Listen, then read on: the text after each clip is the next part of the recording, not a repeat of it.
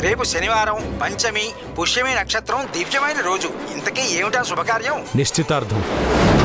మా ఇంట్లో కాదు మా అత్తగారింట్లో. రేపు ఉదయం పది గంటలకి మంచి ముహూర్తం ఉందంట. రేపు మీరంతా సిద్ధంగా ఉండండి. నిశ్చయ తాంబూలాలు ఇచ్చి పుచ్చుకుందాం